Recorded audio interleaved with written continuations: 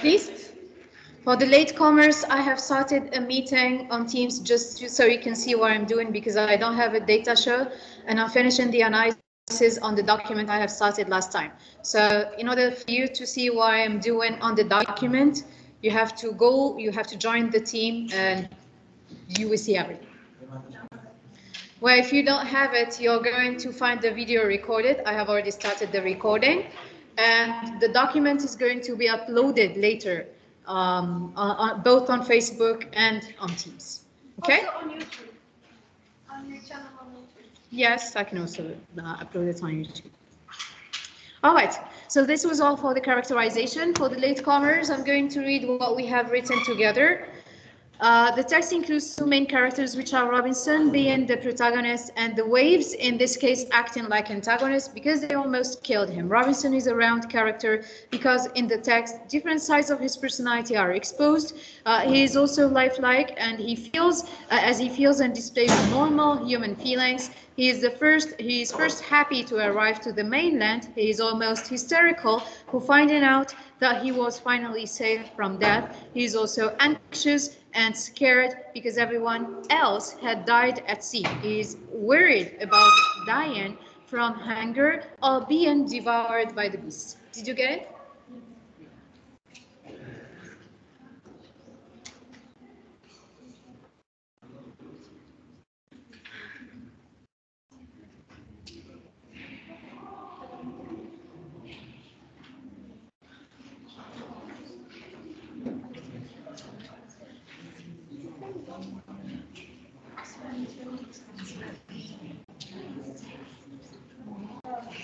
Analyzed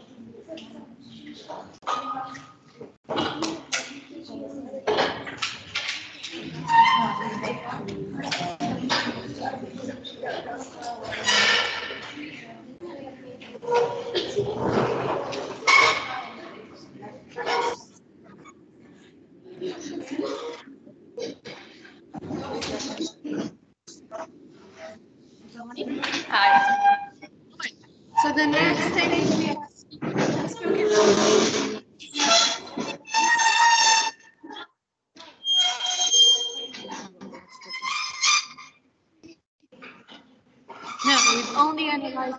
ideas, the general ideas. Okay. All right. So the next thing we're going to speak about is going to be the uh, uh, the plot overview. Uh, you know, when we're talking about the plot, we're talking about the uh, the uh, the development of events. Yes, the events will start from a first conflict and then they will develop uh, in order to reach a climax and then resolve.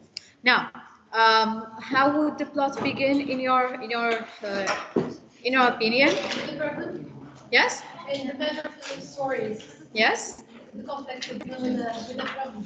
Uh, Hello. How are you?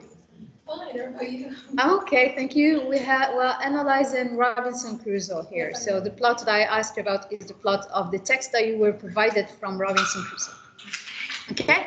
So, uh, what? How does the plot begin in the excerpt? In Robinson Crusoe? Yes. It's with the problem. Yes, I know it begins with the conflict. I want you to tell me which conflict it is. Yes. Yes. This is it. It was he trucked on the sea. Sorry. He was a truck on an island. Uh huh. He was stuck uh, at sea. Yes, Come on. And uh, then found, uh, he found a way how to survive, how to live with the Mhm. turbulence.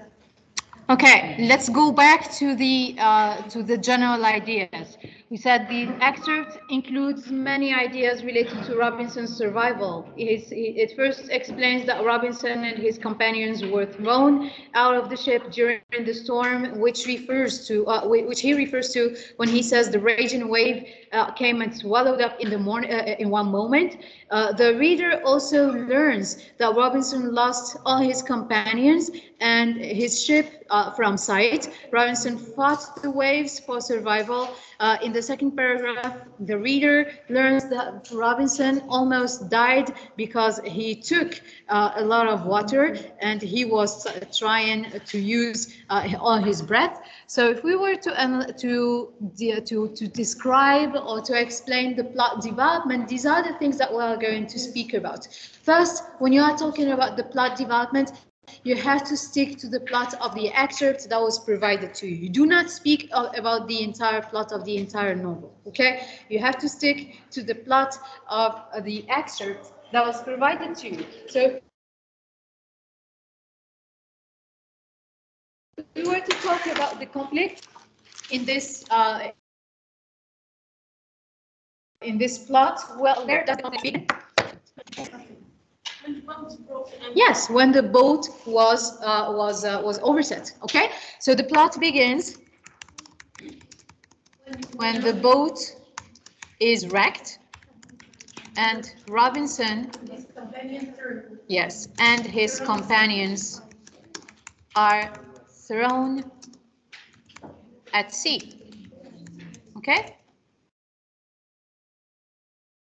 What else? How does it develop?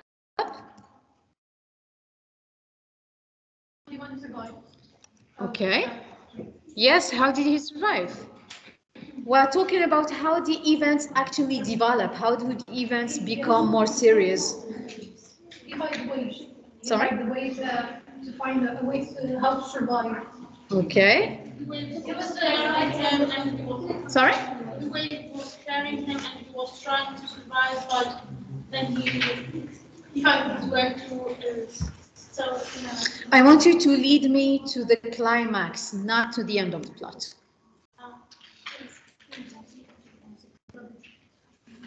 Can you tell a story using suspense? Yeah. So do it.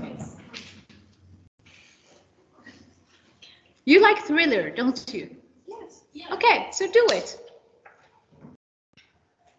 What are we writing about?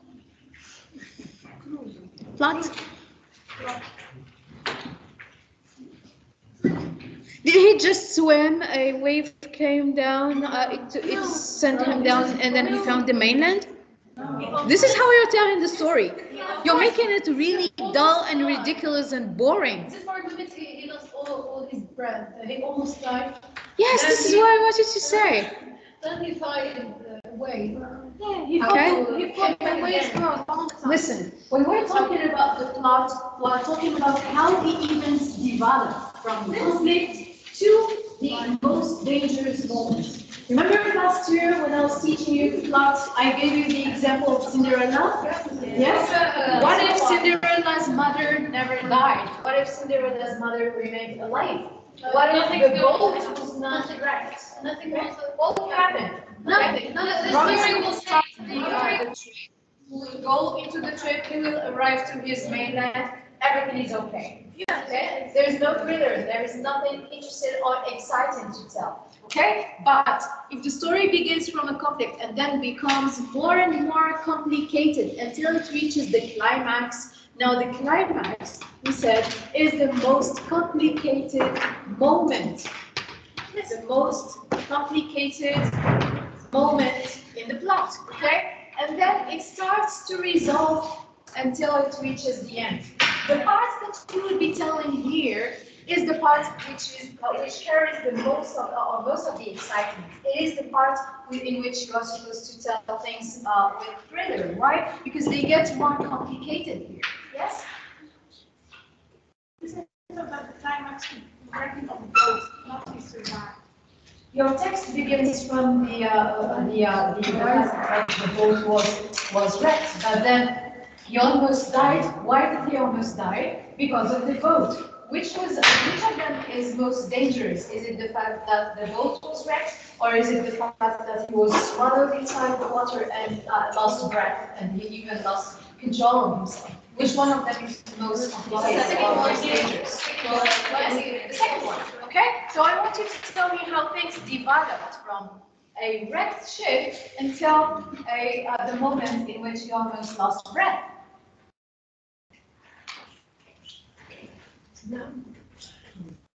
Are we going to ride or what? I should be talking about romanticism in 10 minutes. Oh. All right.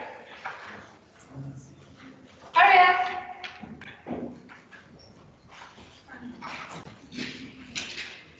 I, I'll, I'll just do like you.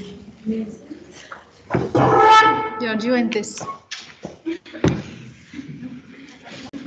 I'm waiting for my plot. The ship was uh, Uh-huh. Then, uh, um, this is, uh, after, uh, when the ship uh, was, was broken, uh, Robinson and, his companion were thrown uh, into the sea. Mm-hmm. I, I wrote that already. So, uh, all his companions were, uh, were, um, sink, sink.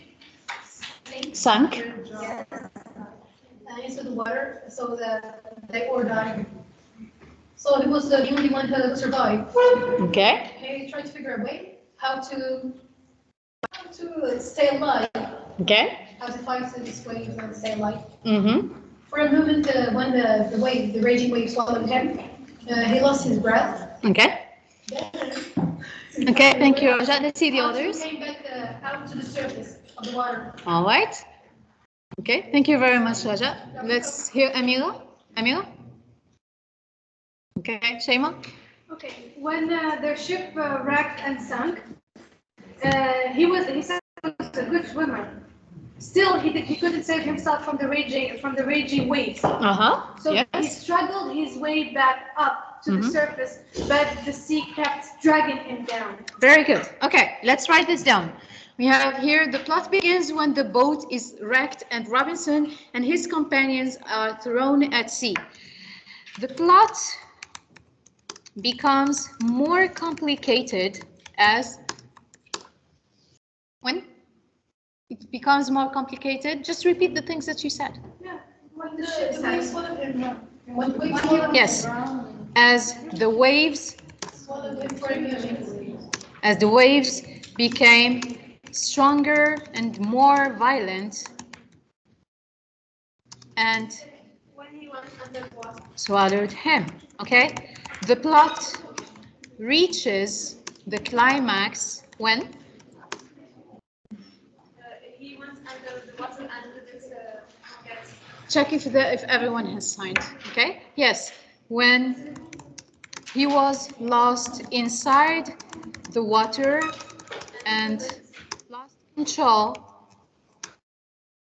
of his breath and body.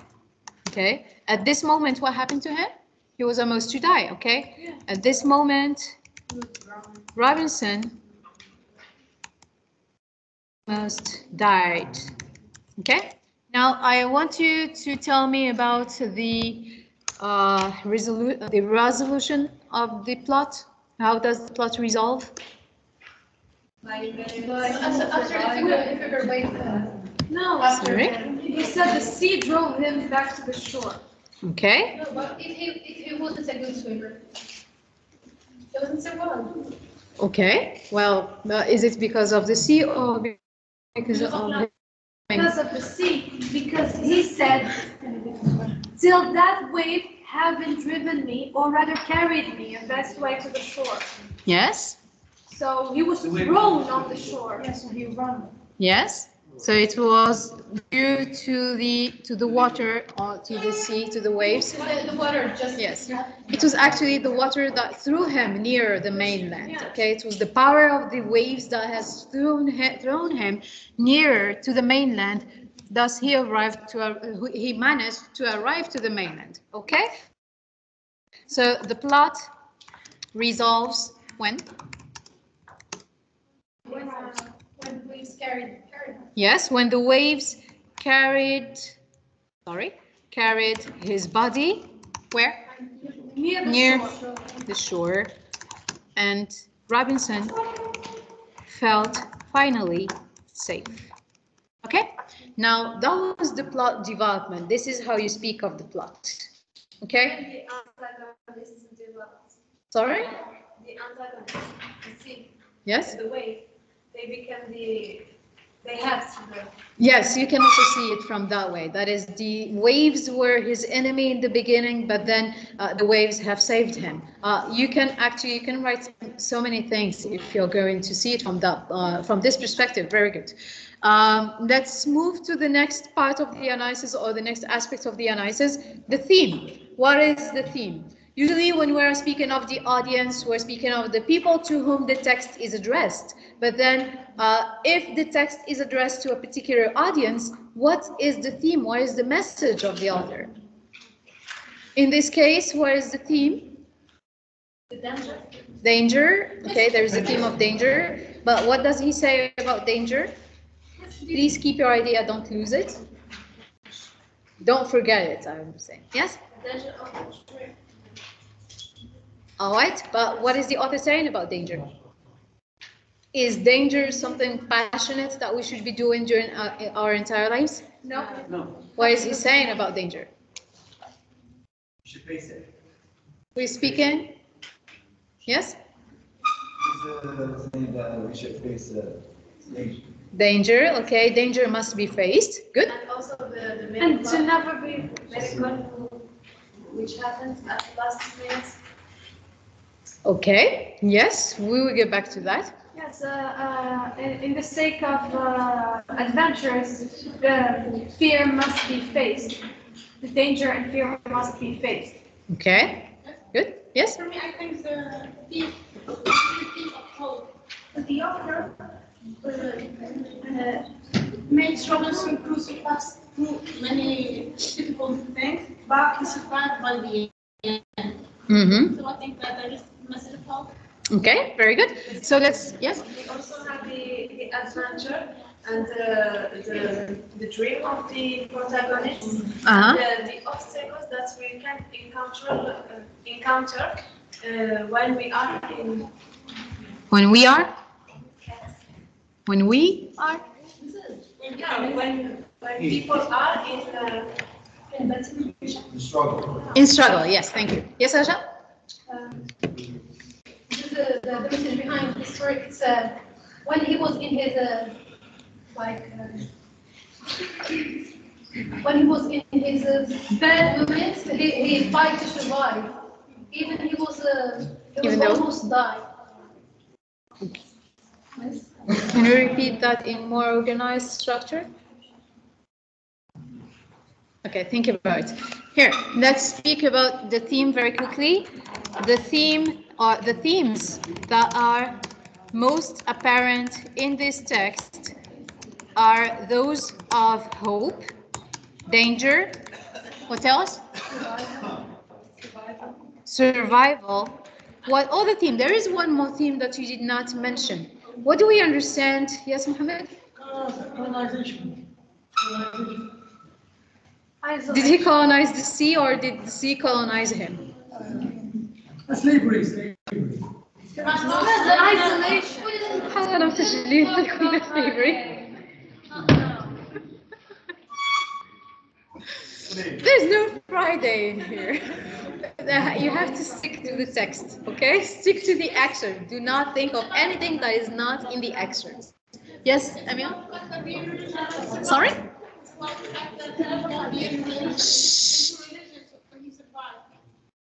Uh, he was thinking in a religious way. So let's say spirituality.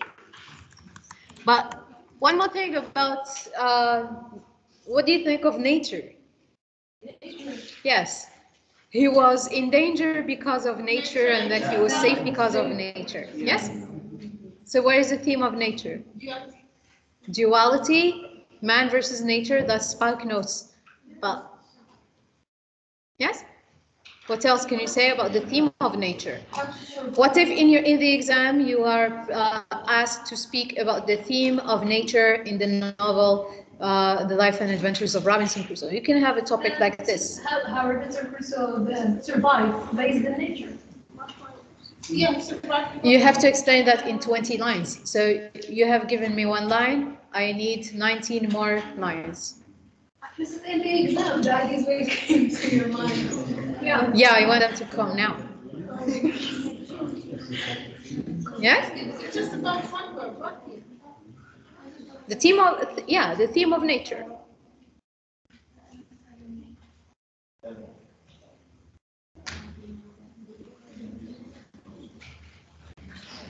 How nature can play a, a role in in Yes. Science. One second, please. Yes? Uh, can you repeat your idea? How nature take uh, its role in our lives. Okay, the role of nature in our lives. Yes? Uh, how, uh,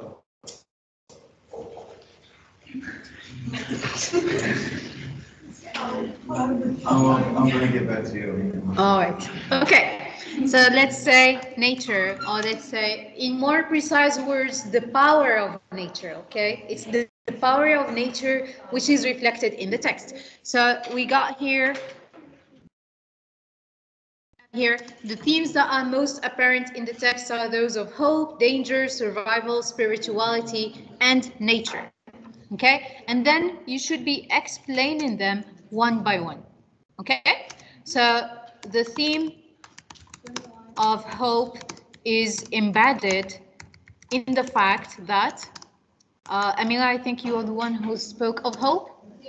Yes, uh, can you explain the theme of hope in one sentence? Give me the sentence that I should put. Message of hope uh, to the reader of, by making Robinson Crusoe pass through all of and survive by the end.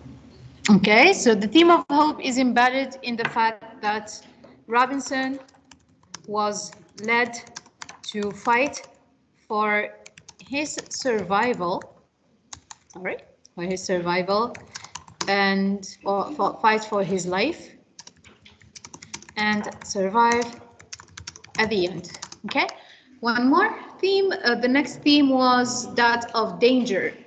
Um, I think Raja, you're the one who gave danger, or was it non Huda?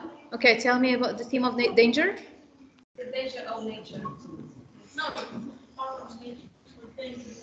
He was going, he thought that he was going to die. Okay, let's put them together. Okay, the themes of danger and the power. Sorry.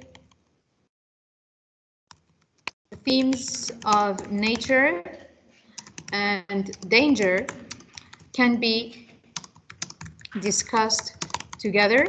Yes? How do we see them? In the fact that The way that he swallowed him uh, at the first, then uh, the then uh, carried him. Yes, that nature has shown its power, okay? The fact that nature has shown its power, uh, first in, let's say, I'm not going to say killing him, in torturing, torturing him, then in saving him. Yes, yes, even when he was in the island. Yes, yes, very good. Nature was useful to Robinson, yes, even when he was in the mainland. In the mainland. Okay, now there are so many other things that we can say about the themes, but I'm going to stop here due to the time. Uh, I'm, I'm, I, I I had to to do this today just to uh, to train you or to show you how to uh, to speak or how to write a literary analysis because it's very important that you start doing this. Um, you're going to have to write your own literary analysis in the next text that we're going to deal with. Today we're going to speak of Romanticism as a literary movement. Next time in, the online session we're going to speak of uh, poetry. We're going to analyze some romantic poems and then uh, in uh, uh, in two weeks or in three weeks, that is during our next uh, meeting here, we're going to speak of the novel Frankenstein. So uh, in the uh, when we deal with the novel Frankenstein, we're going to analyze it together in class. But that's also going to be your homework. That is, you are going to bring the analysis of Frankenstein with you. I'm going to collect the analysis of Frankenstein in our next meeting here. Okay, so it's very important that you grasp. Yes, it's very important that you grasp uh, the uh, the uh, the um, the uh, the method of the tree analysis and that you know how to write a, an essay so that you are able to do it on your own uh, for the homework. Okay? Fine? Yes. Only the romanticism and realism. Yes, for this semester we're only dealing with uh, with realism and romanticism. Yes. Are we obliged to write many lines for each theme? Sorry. Are we obliged to write many lines for each theme? For each theme? If it's the exam, yes.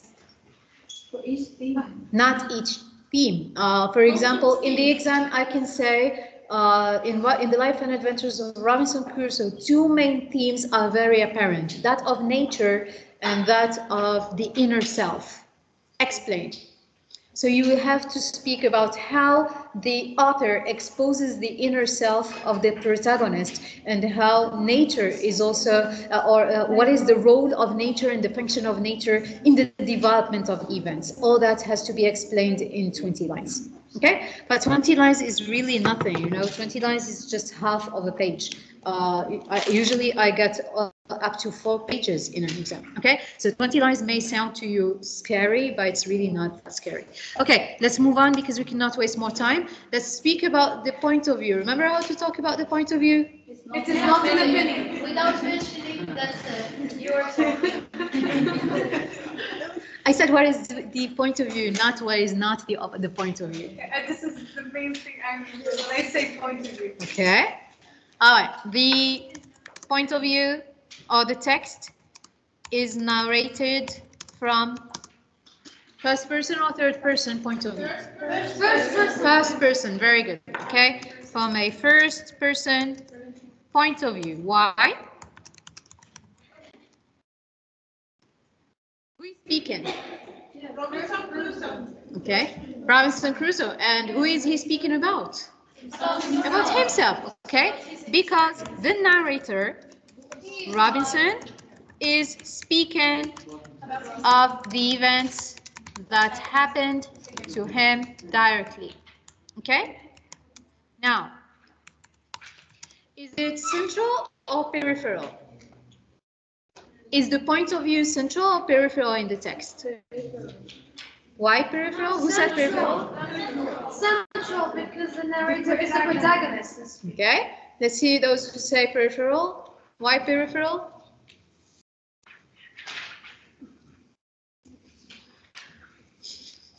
I know who said it. I'm just acting like Okay, it's central, right? It's not peripheral. The uh, the point of view is peripheral if the speaker is speaking about himself, but he is not the protagonist. But in this case, we have Robinson Crusoe speaking about himself, but Robinson is also a protagonist, which is why the point of view is also central. Okay, it is central because Robinson, sorry, because Ro- Robinson is the protagonist. Okay.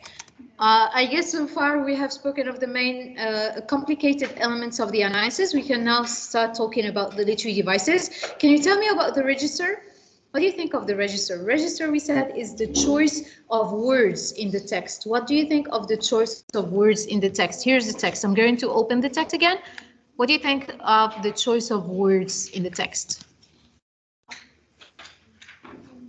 Uh, the formal, informal, yes, religious. So if it's religious, it is also formal. Formal, very good. Okay. How about the diction? Is it Latin origin or Anglo-Saxon origin? Latin origin. Why? Because uh, it was.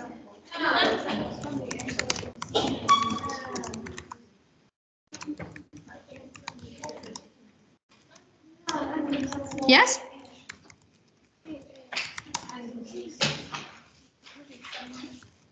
Now it is religious and formal because he uses words like salvation and um, okay, salvation. I will stop here. Is it Latin origin or Anglo-Saxon origin? Yes. The diction is Latin origin or Anglo-Saxon? Okay, why?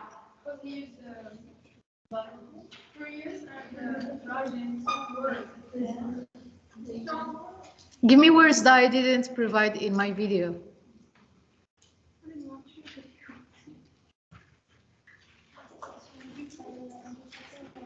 Now, you recognize a text or you will recognize the diction of a text uh, if it's if the words also exist in other Latin languages, okay? You will recognize a text if the audience or if the language also exists in other languages like Spanish, like French, Italian, and so on, okay? And the Anglo-Saxon origin words are words uh, that are also uh, that exist in Germanic languages. Okay, uh, merely those of the Anglo-Saxons, but also uh, of German. Okay, or simply the the words that are not of a Latin origin. Okay, so the diction in this case is of a Latin origin. All right, the diction is of a Latin origin uh, because he uses he uses words like courage, very good. What else? Furious, joyful, moment, and so on. Okay, now, can you give me any figures of speech? Yes? Haven't driven me. Okay, what is that? Yes, there is a personification in the sentence, the wave having driven me, which means, what does it mean? What does it mean? Yes, Zainab? Leading him, that is, it was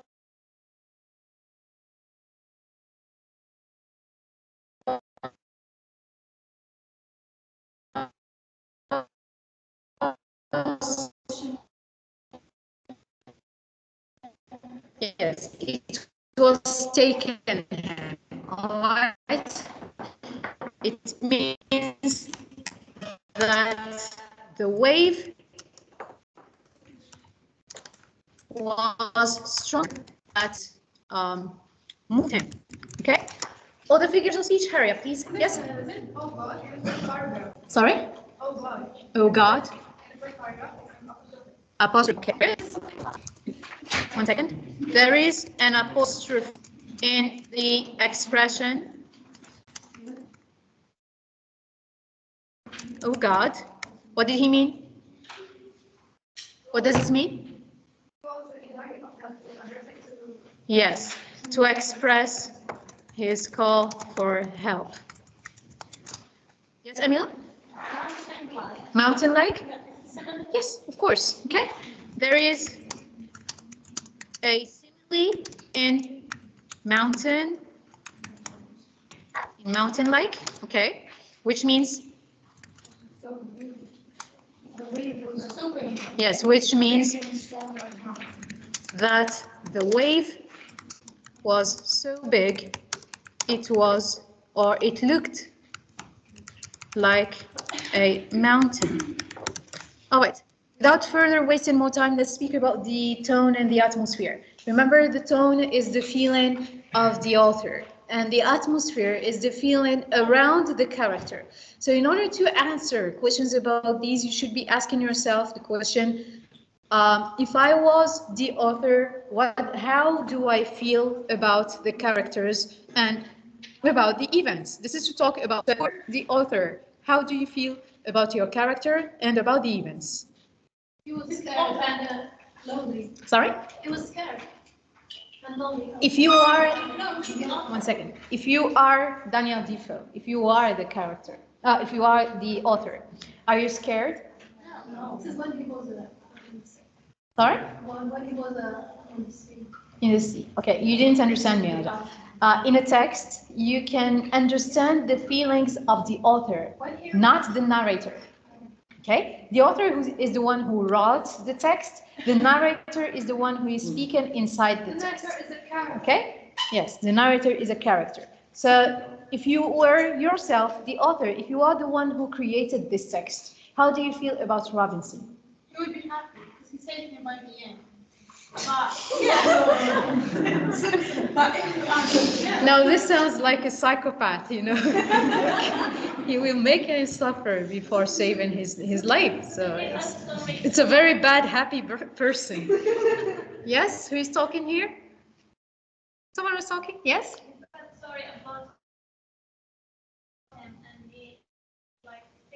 Yes, he felt sorry about him. Okay, so the tone includes feelings of pity and sympathy. Can you give me examples of feelings of pity and sympathy? Examples from the text that make you believe that Robinson uh, uh, actually feels that way.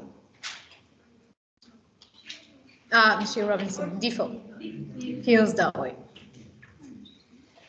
Any expression or event or word, anything that will make you think that he actually feels pity. It doesn't necessarily have to be a sentence from the text. It can be uh, your own thought or an event, something that happened in the text. Here's the text again. How he saved him after he lost hope in uh, surviving. Who is speaking? Okay. All right. Uh, so the tone includes feelings of pity and sympathy, uh, which are felt when Defoe, yes, he said, He saved him after they lost hope in surviving. yes, saved Robinson after he had lost, sorry, he had lost hope in survival. Okay, one more feeling for the tone? No more? Okay, let's speak of the atmosphere. Now, for the atmosphere, you have to think of yourself as a character. If you were Robinson Crusoe, how do you feel things around you? If you were yourself Robinson and you are drowning in the sea, how do you feel? Confused. Confused, Scared. scared, terrified, lost. Convinced that this is the end of my life. Okay, so the atmosphere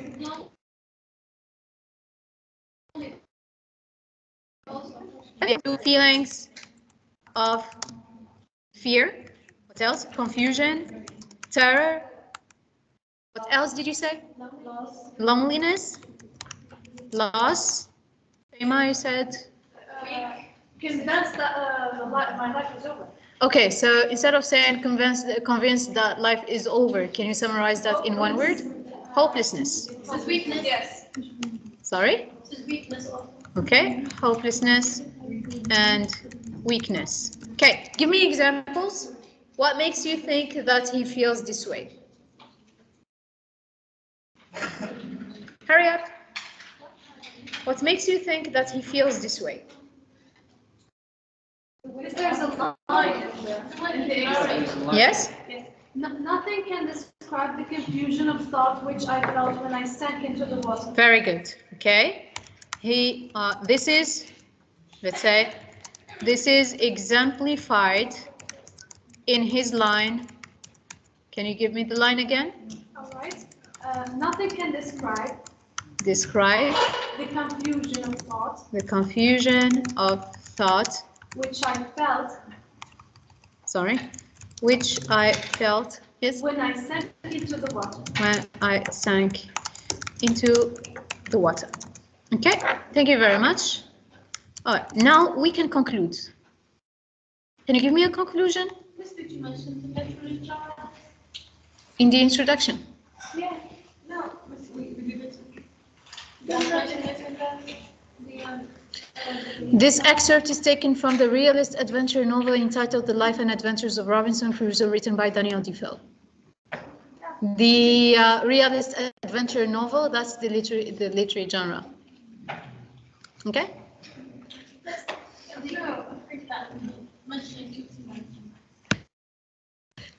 You know, I think that mentioning it. Now, uh, I mentioned it in the analysis because it is part of the analysis, but I prefer to find it in the introduction rather than as an uh, independent uh, aspect in the analysis. Okay? Yes? This, uh, in the conclusion, we talked about um, the author or the narrator. Anything you want. No, you didn't understand me. Like uh, Robinson Crusoe is the narrator, but Daniel Defoe is the author. Yes.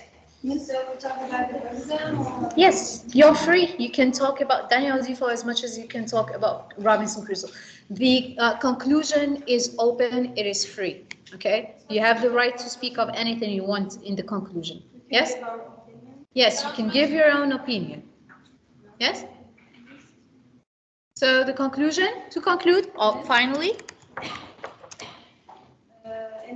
in story, the author is showing that nothing can get can be guessed easily, but we all have to go through struggling and Okay. be and you say it again, in this novel, the author is saying that nothing Can be can be obtained easily, easily, but we have to go through.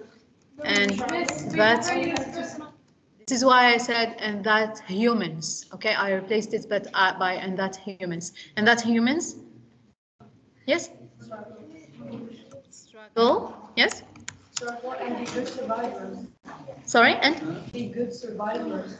and that humans must struggle for survival, must struggle for survival.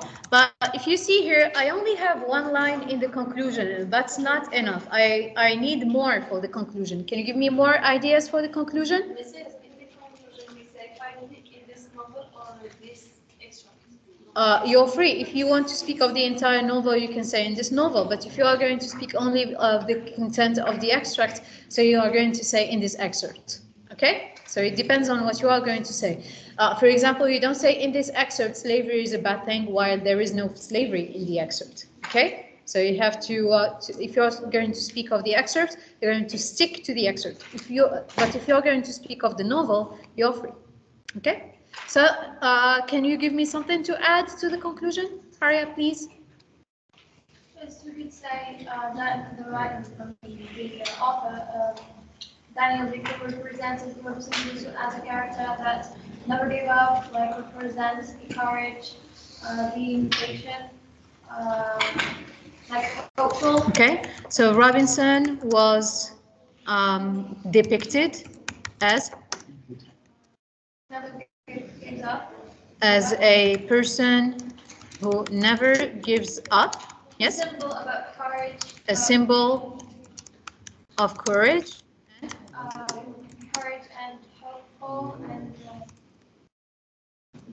Let's stop here. Okay, that's all. Thank you very much. So now we have finished the analysis of Robinson Crusoe. I'm going to save uh, this document and I'm going to share it with you on Teams. This is going to be a sample essay for you. All right? Sample essay analysis.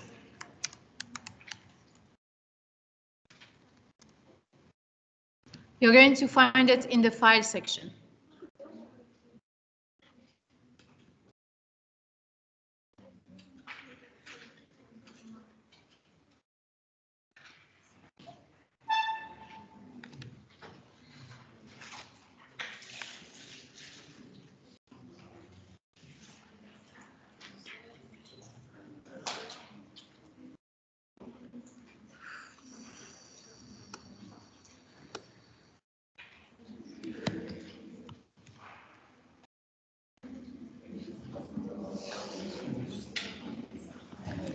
Okay, so you can go back to the document and you're going to find it on Teams. This document is going to serve you as a sample essay to follow for your future experiences. All right, now I want you to open the, uh, the uh, romanticism, the, uh, the PowerPoint presentation. I am still keeping the meeting here, so you can follow me either on the meeting or in your personal files, okay? I'm going to switch now to romanticism.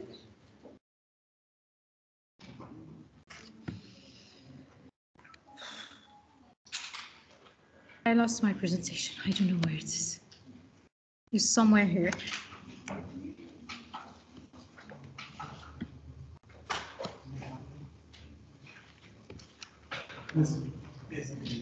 Yes. Okay. Are you coming back? Yeah. Well, you better be really quick because this is very important.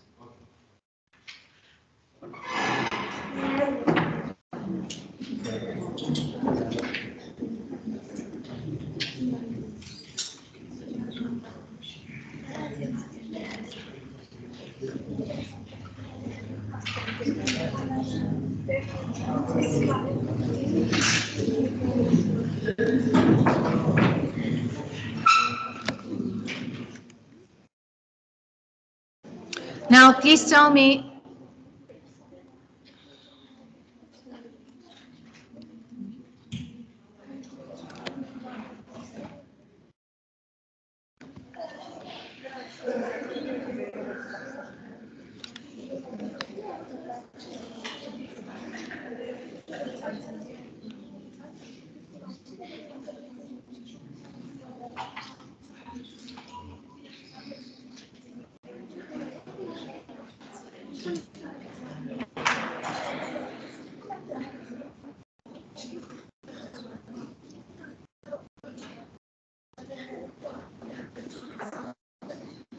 going to speak about is going to be romanticism. Now, romanticism is a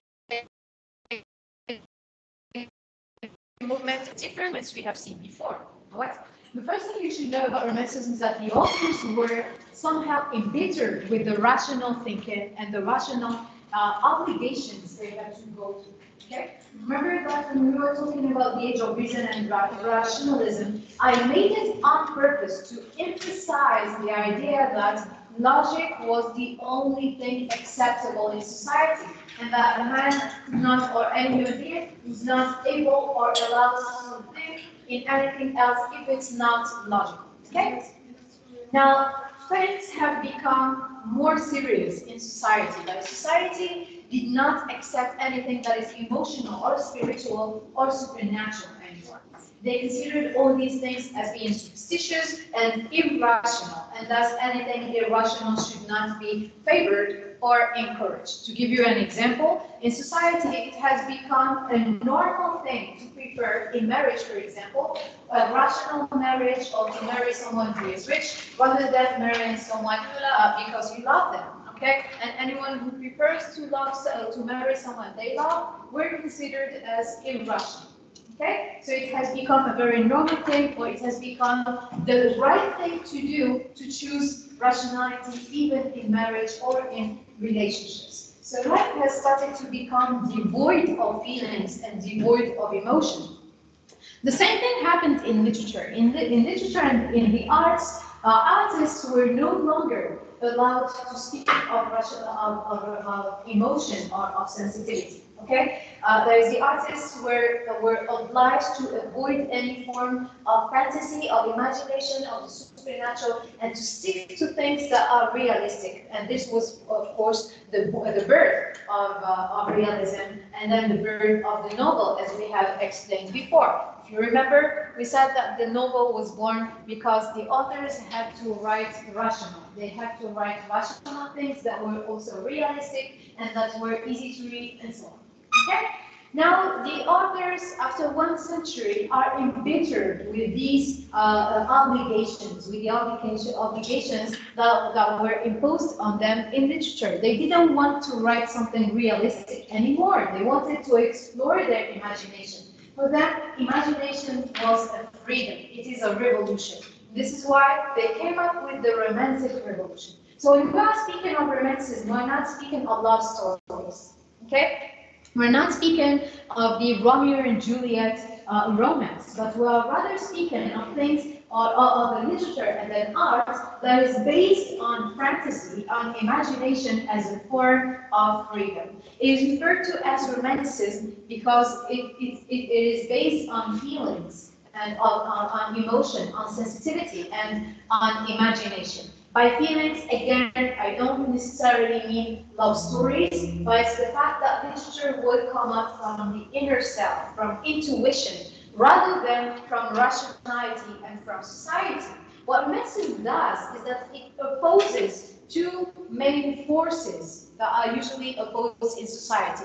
It opposes rationality on the one side and the inner self, intuition, uh, uh, to society.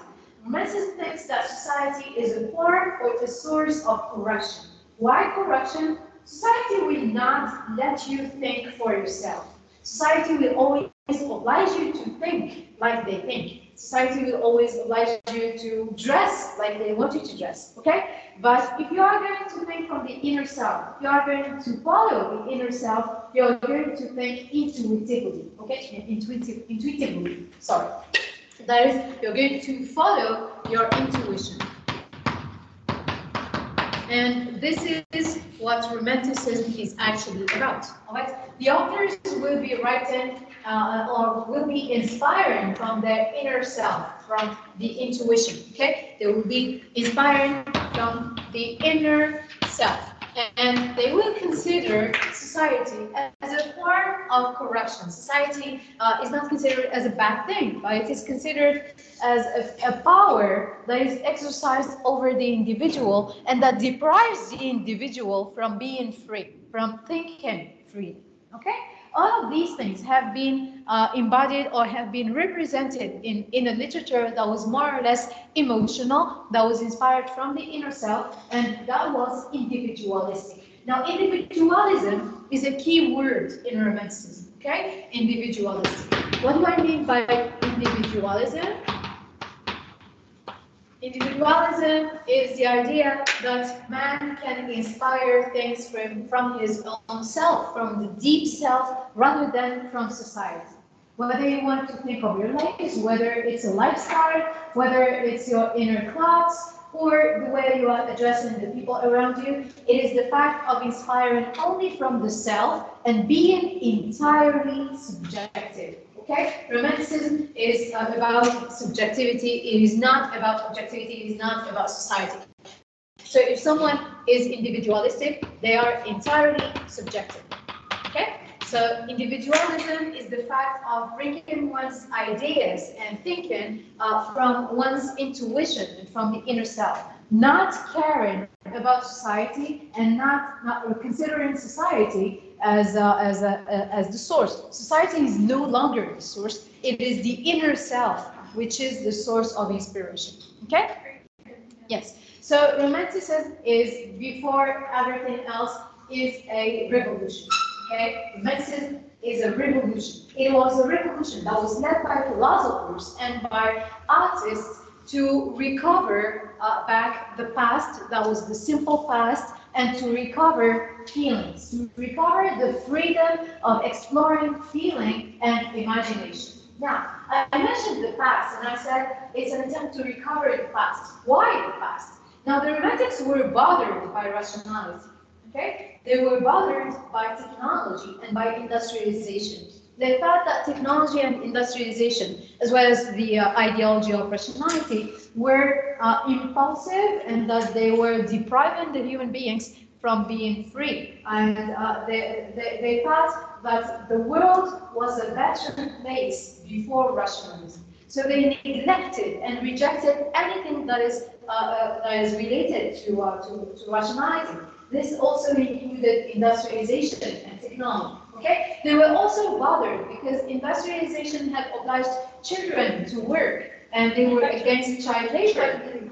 Yes, they thought that child labor killed childhood innocence. That the children were, uh, were losing their innocence, they were losing their spontaneity and their genius, and thus children were growing up as machines, as machines that were, that were unable to think nor able to feel due to industrialization. So the biggest enemy of the Romantics was rationalism and industrialization.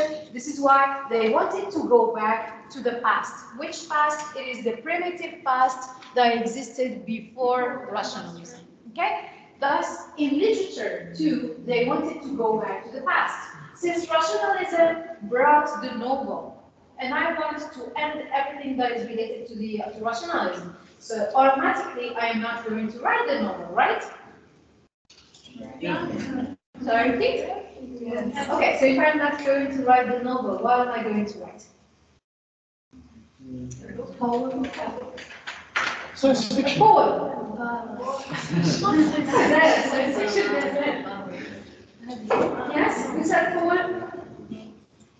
Yes, very good. Okay, they want to. Yes. So they went back to. Poetry was the form of writing that existed before the novel. Okay, so if the author is breaking with everything industrial, everything rational, they are also breaking with the form of literature that came up because of rationalism, which is the novel. Okay, this is why in their nostalgia for the past or in their attempt to go back to the past, they also went, uh, went back to the primitive uh, uh, past, or they also went back to poetry as the primitive form of writing. Okay that of the past. Now, I'm going to share a PowerPoint presentation with you. Um, I don't know if I can, let me see this. Yes, uh, do you see it full screen? I'm trying to, it's not shared anymore. Okay. Um, I'm just trying to see if I can, uh,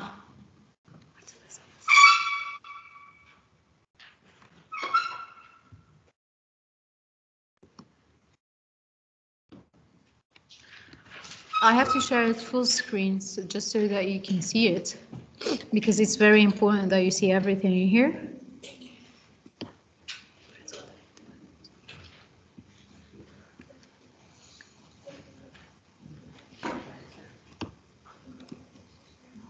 No.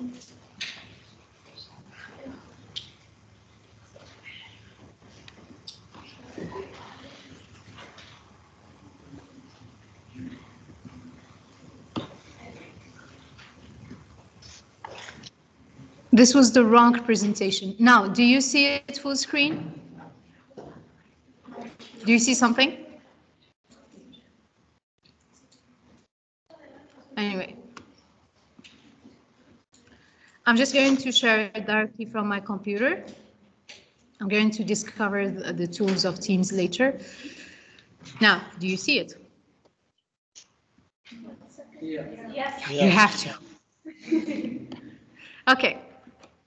So basic, the basic thing we're going to speak about, or the first thing we're going to speak about are the key concepts. Now, if you have the presentation that I have already uploaded to you, uh, go directly to page two, okay?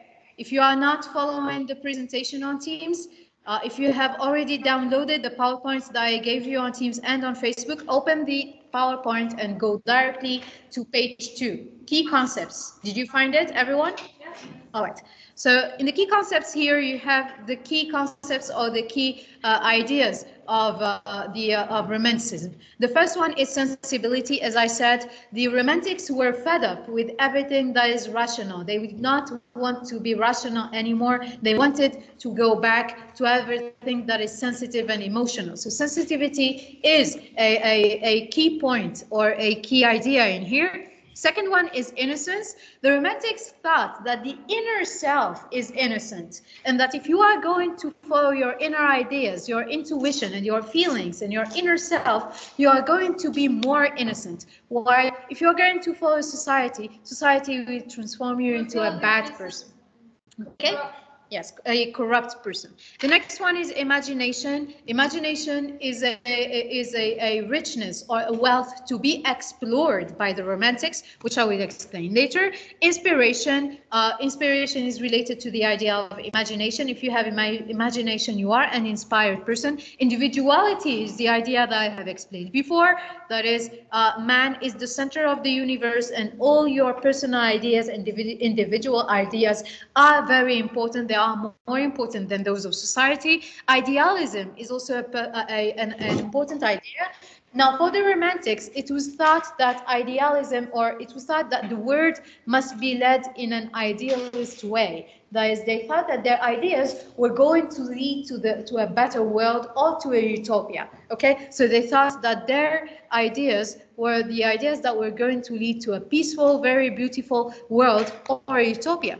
Okay, intuition as a next uh, idea, uh, which I have explained before, that you can find the best ideas inside yourself. Nature, Nature is very important for the Romantics. Nature actually represents the refuge of the Romantics. That is, uh, Romantics find their peace and their escape in nature. If they don't want to, to have any recourse to society anymore, if they want to escape society, the trouble of society, the uh, impositions, the obligations of society, the Romantics will escape to nature. Okay, Uh, next, the freedom from tradition. As I said before, the Romanticism is a revolution. Okay, Romanticism is a revolution against uh, structured rules of society. It is also a, a, a revolution against rationalism. So what is meant by tradition here is both the ideology of rationalism, but also the rules that are imposed by society. Okay, you have to think of Romanticism as a revolution. All right, next uh, slide.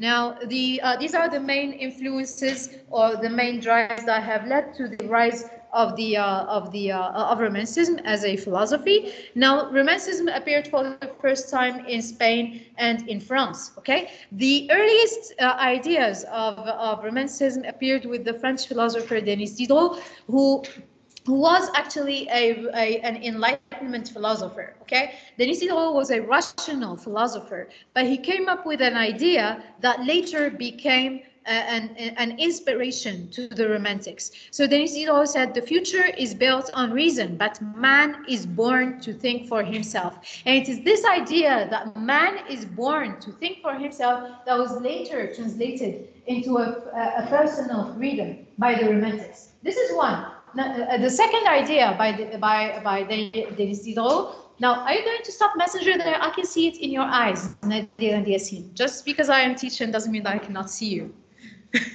okay, so uh, I want you to follow here because this is very important. The idea of Denis Diderot, or one more revolutionary idea by Denis Diderot, is that he wrote the encyclopedia.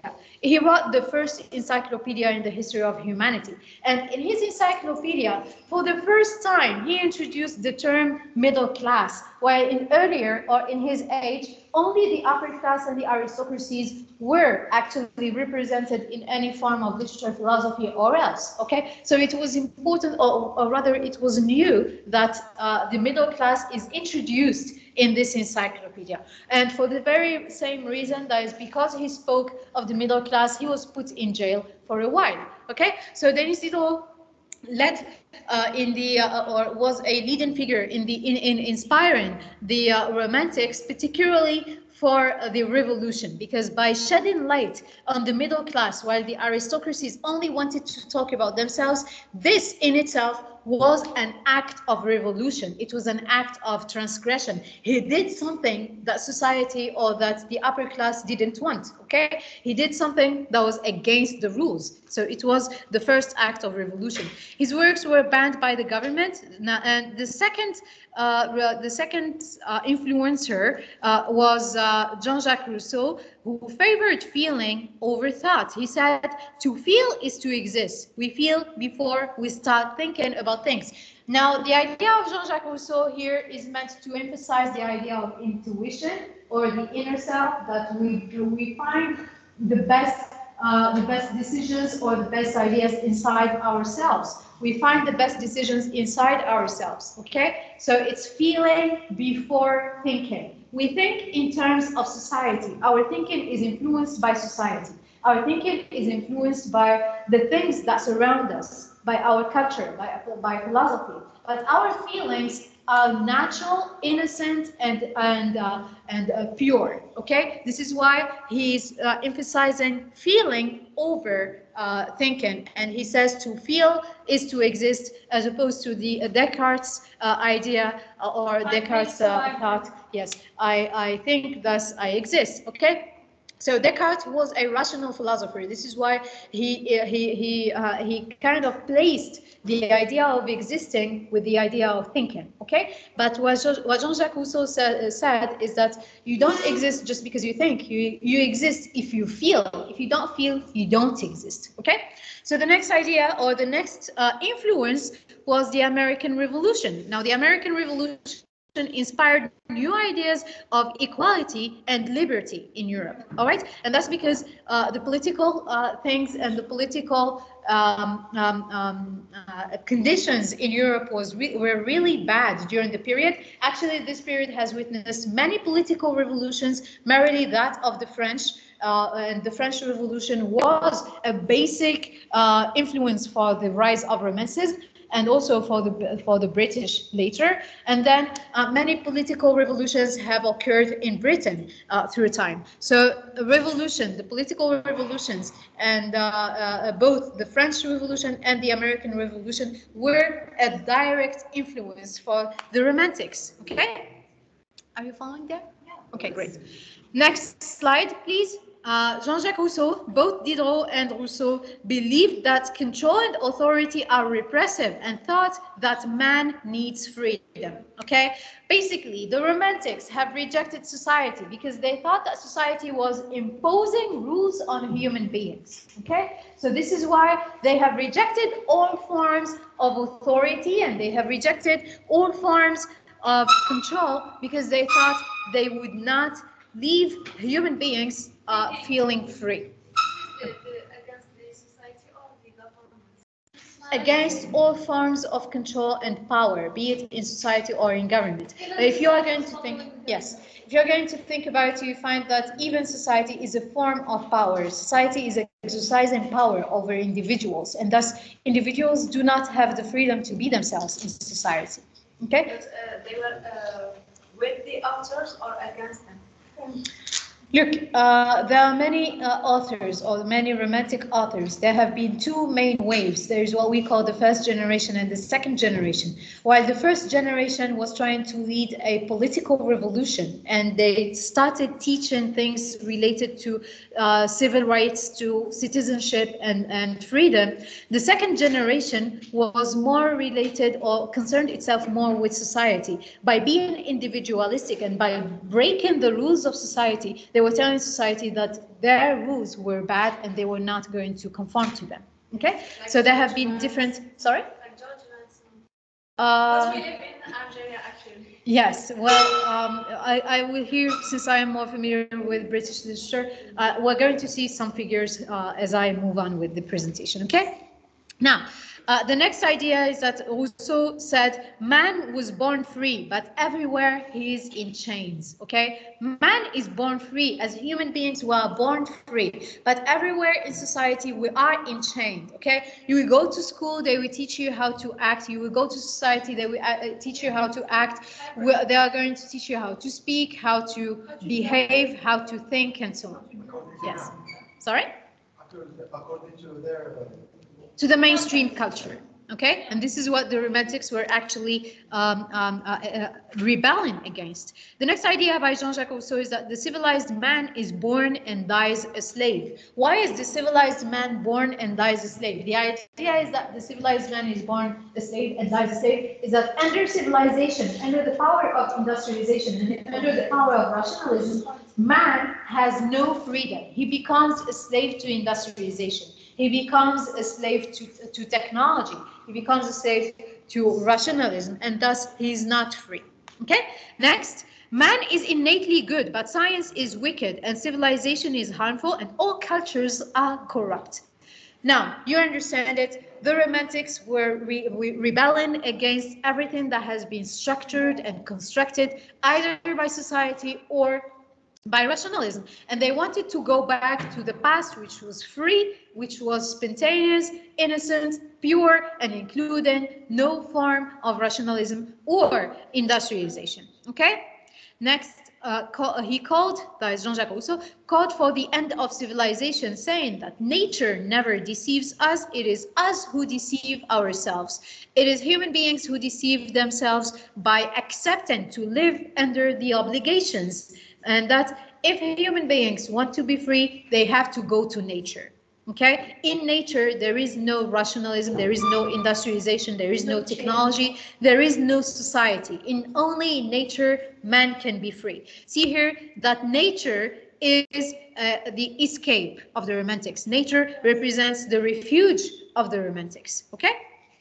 The next influence is the French Revolution. We have here, uh, it's, uh, it happened in 1780. Uh, it's a political upheaval and, uh, in France and which inspired the dreams of liberty. Now, if you are following on your, uh, uh, in, in your own PowerPoint, so please switch to the next page, okay?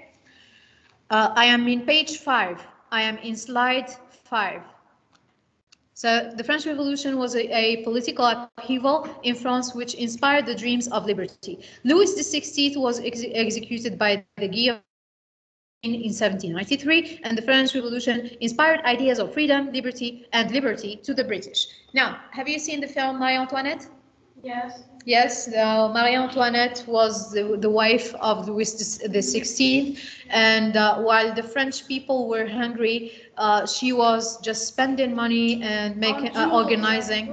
Yes, she was organizing parties all the time and so on. And one very famous sentence that was often repeated by historians, when she, when the people have revolted, they went to the to uh, to the uh, palace uh, of the king. Uh, yes, in in order to uh, to to express their anger. She said, "What what is wrong with them?" They said they want bread. So she said, "Yes, they could just eat cookies or cakes or else." Okay. So uh, why are they asking for bread? Let, let them eat cakes. All right. So she, uh, her, uh, the the she was captured with the king a few years later, and the king uh, Louis XVI was executed. Now, the French Revolution represented a form of a new hope for the Romantics. Please pay attention here. The French Revolution, yes, Revolution. Okay, so the French Revolution represented a new hope for the uh, for the Romantics, and they wanted to make the revolution happen again in uh, in in Britain because they were motivated by the uh, the uh, the uh, the feelings of liberty and of freedom that happened or that started in France after the rule of Louis XVI. Uh, the thing that they did not expect is that things in France became quite bloody a few years later after the Jacobins have taken the rule in France. Uh, uh, people uh, they have started killing everyone who was suspected to have uh, uh, to have been a sympathizer of uh, Louis XVI or of the ancient regime, and thus things started to get bloody and they went really wrong in France. But the Romantics, although the Romantics were deceived by how bad things uh, have become in France, they were still motivated and ambitious, and they still wanted to make the revolution happen in uh, in Britain. Okay, so slide number six, please. Romanticism revolted against industry, commerce, rationality, science, and the new technology-oriented world. So you know it now. The Romantics were re rebelling against everything that has been constructed by human beings, and they want to go back to nature because nature represents freedom, spontaneity, purity, and innocence. Okay, uh, nature is not corrupted by the hand of human beings. Okay, next. Uh, they revolted against the repressive organized lifestyle of the modern world and they wanted to be just free. Their revolution was against authority and hierarchy. Next slide, yes? Okay, next slide. Yes, the major figures. Now, there are two main generations in Romanticism, but these two generations uh, have lived in the same time. Even though we say two generations, it's because there are two different movements that occurred within Romanticism, but both of them have appeared or have lived within the same time period. Okay, so the first generation, as I said before, have concerned themselves with the political revolution and they wanted to make a political revolution happen in England. Okay, they are William Blake, William Wordsworth, and Samuel Richardson. Uh, sorry, Samuel Taylor Coleridge. Uh, the second uh, generation were concerned themselves with society and with individualism. They were more free in a philosophical way. We're going to see them later. Now, uh, the uh, still within the first generation, they were known as the Lake Poets because they grew up in Lake District. They were against change and wanted a return to poetry. As I uh, as I explained before, since they want to end up with everything that is rational, they want to break with everything that is rational and uh, uh, that is related to industrialization They want to go back to poetry in literature. Uh, they want to go back to imagination and the legend. They had the nostalgia for the past and they wanted to go back to the mysterious and to the magical. Okay, so see here that imagination is of a great importance for the romantics. All right, they are expressing their revolution against both the politics and society through their imagination by breaking with the things that human beings are familiar with and bring it, bring it, bring in, sorry, something new. Sorry?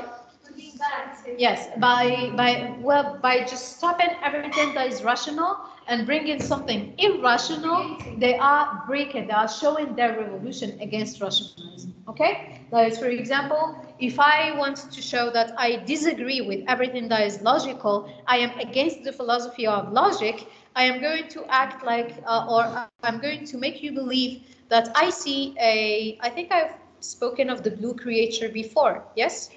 I spoke of the blue creature, no? Well, there is a blue creature that is sitting right here, okay? And the blue creature is helping me with my class. Why are you laughing? It is here, all right? So I, I am here challenging rationality by doing something entirely irrational, which is the product of my imagination. And this is what the Romantics were doing. Okay, the Romantics were challenging rationality by breaking with everything rational and bringing something supernatural. The supernatural, the imaginary, the fantasy represented freedom. Okay, next slide. Uh, the second generation romantics, I am here in slide number eight, okay? Second generation romantics, they are John Keats, Percy B. Shelley, and Lord Byron. They defied society, the standards of society. They revolted against and transgressed the law. To transgress is to go beyond, okay? They defied society, they were against society and the social norms, and they just wanted to go beyond. They sought to give meaning to life. They were constantly in search for the meaning of life. They wanted to find the meaning of life in experiences that were new, different, and exotic. They rejected the rational lifestyle in which they were, and they wanted to discover something different, something new. This is why they were particularly uh, interested in exotic experiences. Yes, Saja? In here, uh, Percy Shelley published uh, his wife's story in French time. Later, okay? We're going to talk about that later. Now, they were self-sufficient and individualistic. Uh, individualism is an idea that I have explained before. It's the idea that you can survive on your own. Man can survive uh, in entire isolation, that your own ideas, your personal ideas, uh, inspired from the inner self are the ideas you should be living by. Their poetry was self-regarding and subjective. That is, in their poetry, they were very subjective. They were talking about themselves. They were praising themselves. Okay, you can think of themselves of, of them as very selfish, and they were very selfish. Okay, they were Okay, yeah, the but the second generation romantics were just praising themselves. They were just constantly dissatisfied, never satisfied with anything, and they made the other people work hard to, to make them satisfied. They were enveloped in passion, emotion, incorporating so much more intuitive thought, the supernatural, and the exotic. One thing you should know about the, the second generation romantics is that they were very emotional. Okay, they were very sensitive and very emotional. Next slide. Uh, slide number nine. Now, this is uh, something about uh, von Goethe. I'm not going to speak about it, but you can read this slide later. He was one of the early writers of Romanticism, but he was a German philosopher, uh, writer. Uh, next slide, 10.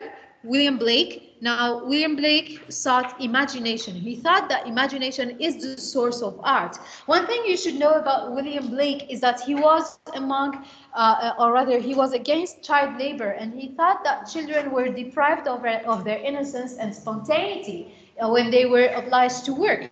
So he wrote the uh, the uh, the um, he wrote the chimney sweeper, which is a poem in which uh, children had to clean a chimney, and then they were. Uh, it, it, speaks with, emotionally about the trouble of sending children to work in such cold. Okay, can I have the attendance sheet, please? Attendance sheet. Have you all signed the attendance sheet? Did everyone sign? Sure. Okay.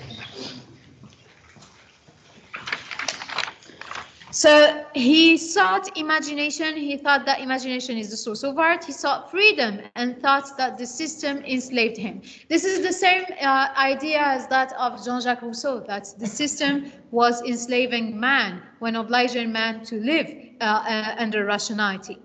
He chose poetry uh, and painting to express his uncommon ideas. That is, he expressed himself in uh, poetry and painting, and he thought that life is a prison and free will and imagination are locked out of imposed systems. I repeat, life is a prison and free will and imagination are locked out of the imposed systems. Is the imposed system, the system that is imposed on us, be it on society, in society, culture, or in politics, does not include any imagination and thus it does not include any freedom.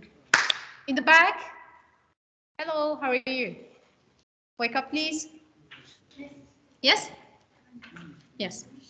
Now, next slide, 11. Blake and Wordsworth had a grief for children who had to work, as I have explained before.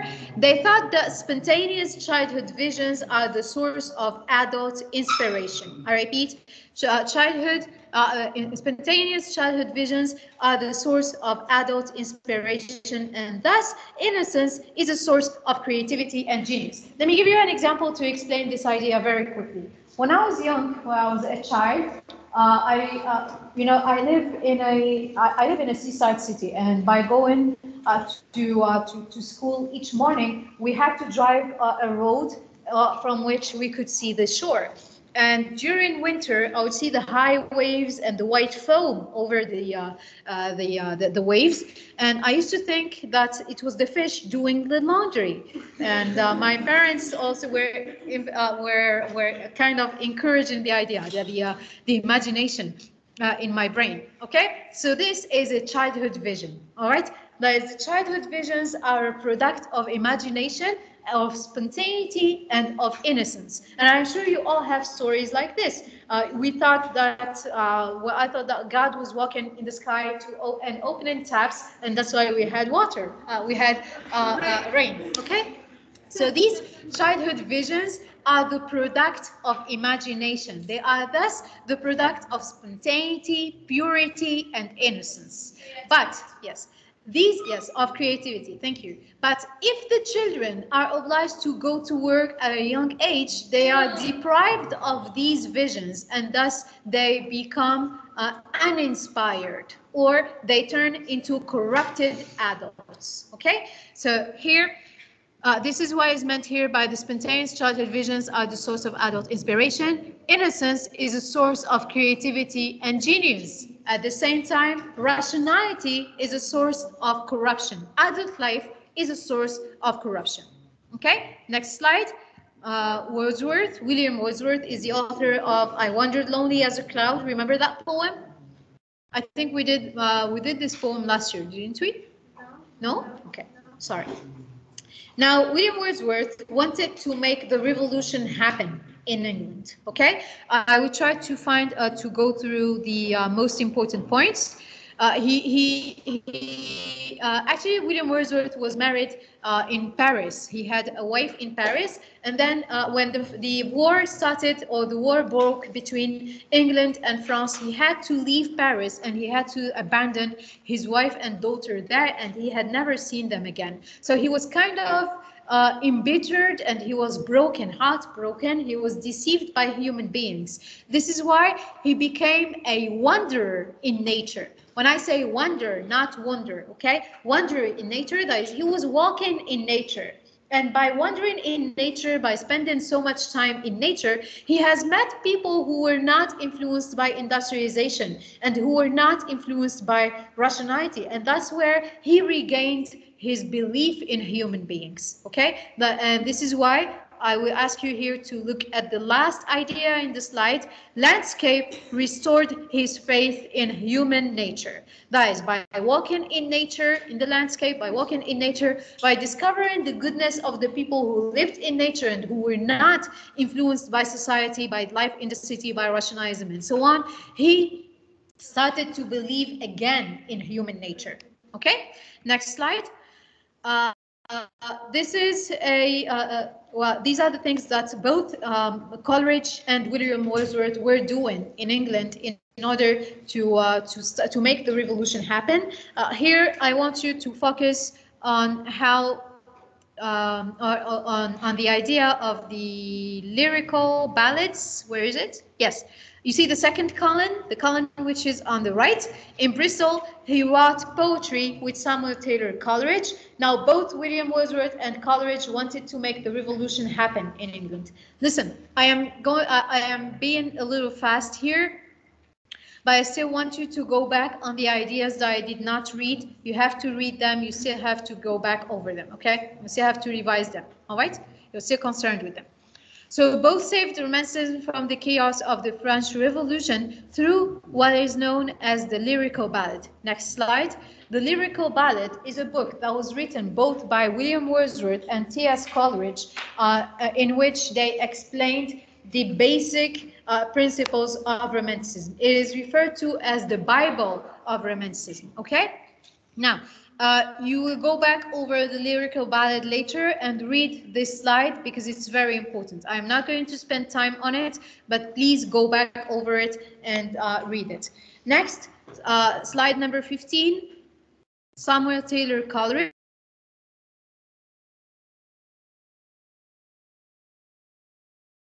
to make the revolution happen in England and he was a great fan of imagination and fantasy okay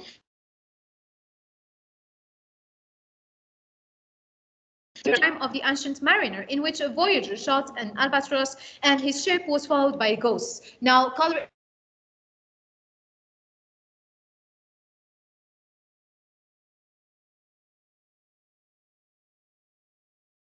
uh, in in the ancient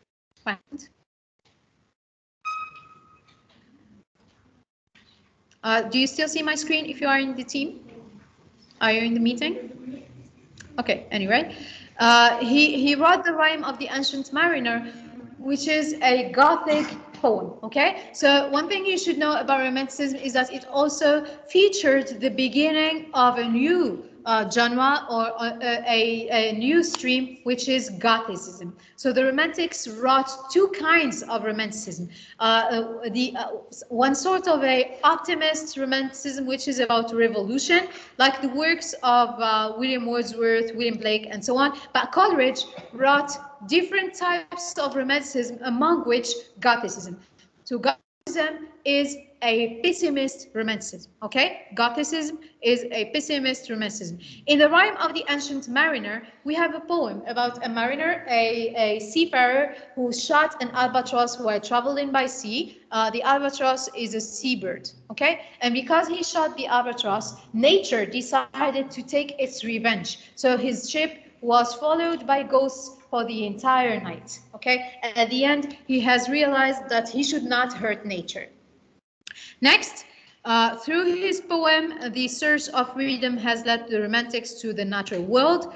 Uh, he explored, next slide, slide number 16, uh, Coleridge explored the limits of human imagination, which inspired him. Kubla Khan, which is the best experience, which is an experience of the exotic. Now, Kubla Khan is a work that he wrote under the effect of drug. That is, he thought that imagination had to he couldn't he couldn't explore his imagination while being sober. So what he did is that he was taking drugs to explore his imagination and indeed he wrote the best of his works while under the effect of drug okay? Yes by taking opium. By because he thought that uh, rationality was depriving him from exploring uh, imagination. And he thought that imagination or the mind was a mystery okay read here uh, the second point for Coleridge, mind is a mystery discovered through imagination. That imagination was really rich and it had to be discovered. Next slide. John Keats. Now, John Keats is the first author in the second generation uh, poets. And as I said before, uh, uh, the second generation poets were rather sensitive and they were challenging society rather than challenging politics. Okay, so he experienced the horror of conducting surgery on human bodies without anesthesis. Now, one thing you should know about John Keats is that John Keats is a very sensitive and a very uh, emotional poet. Okay, when I said this, uh, please, when I said this to uh, to one of our teachers here, I told her there's something about John Keats that says that he was operating, he was cutting open human bodies without giving them anesthesis in order to see how they experience pain. She said, no, that's impossible. John Keats is the master of sensitivity. He was the master of emotion. He cannot do that. Well, apparently he did. Okay, so the reason why he did this is that he thought that poetry can be medicine. He thought that words are medicine. Poetry is a medicine and that he can heal human beings using words. So instead, in, uh, in, uh, in order, sorry, in order to find or in order to understand how human beings feel uh, pain or rather in order to write the best words that can heal human beings what john keats did did is that he made them suffer and he was observing their pain he was observing their suffering and translated it into words and that's how he managed to write a poetry good enough to be able to heal human beings that are suffering. Okay? Next slide. Percy Bysshe Shelley. Now Shelley was quite um, self-regarding and uh, emotional and individualistic. Okay? Now, he sought the meaning of life and claimed that it was found in atheism. So he didn't really believe in God. He thought that he has to, to think uh, beyond the idea of God and the idea of religion to find the true meaning of life. He had different love affairs and sought self-gratification. By violating social conventions, Shelley pioneered in a notion of free love. He created what is known as free love. And in free love, he was actually having endless uh, love relationships with endless numbers of women, considering that he had the freedom of loving a new woman each day. Okay. he is uh, a form of inspiration. So he was already married and. Uh.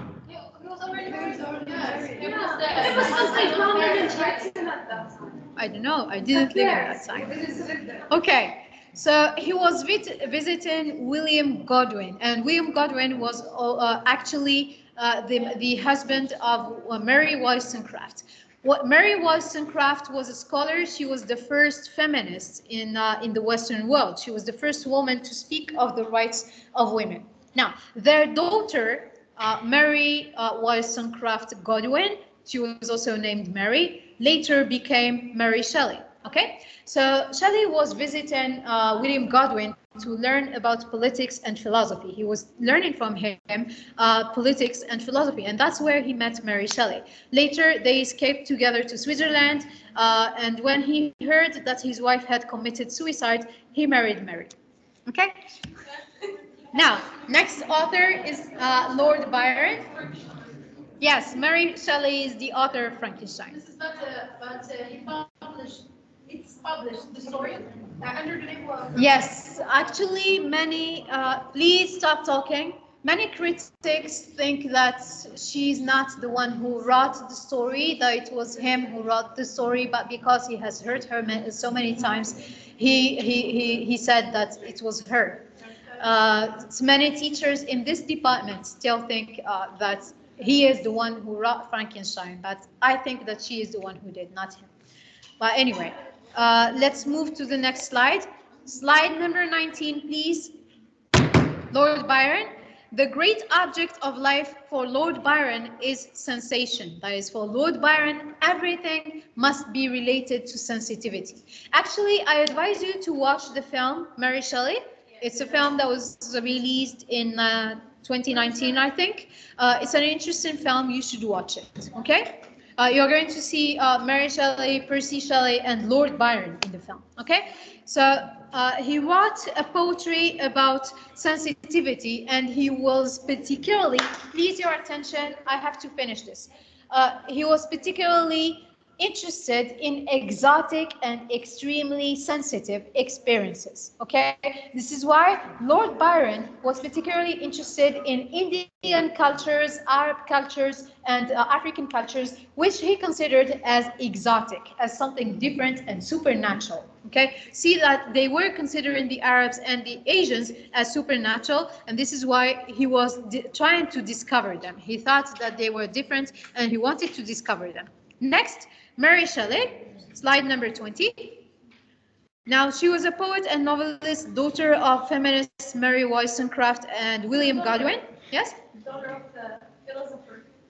Yes, philosopher and politician. Okay, philosopher and feminist Mary Wollstonecraft and her husband, politician also, and philosopher um, um, um, uh, William Godwin. Okay, she wrote Frankenstein or Modern Prometheus and she uh, she was she is considered as the earliest figure uh, in Gothic literature, also cons considered sometimes as the master or the first author of science fiction. Okay, but science fiction as a term was only used in the 1920s. This is why I don't want you to speak about science fiction here. Plus, uh, Fra Frankenstein to me is more of a gothic, Gothic, uh, uh, uh, yes, it's more of a gothic novel than a science fiction novel because science fiction novel does not include much horror and uh, and gothicism, but it includes the aspects of the disgust, the supernatural things that are different, uh, the weird, but but also some insane and madness. Okay, there's also some madness in science fiction, which is not uh, always uh, uh, existent in the Gothic uh, literature. Okay, so she wrote Gothic stories about beasts, supernatural mystery, and antiquity, and the fear of the supernatural. Do you know what is meant by antiquity? Yes, antiquity is something that is very old and very archaic. The term Gothic is itself inspired from the Gauls, which are a very archaic tribe. Okay, next. Uh, this is here what we have here in slide 21, an example of Gothic architecture. This is the uh, Hungarian uh, parliament in Budapest, and uh, it's it really has uh, the, the if you are going to look at the at the uh, at the at the details, they are really Gothic. You will see things that are truly Gothic. Sorry.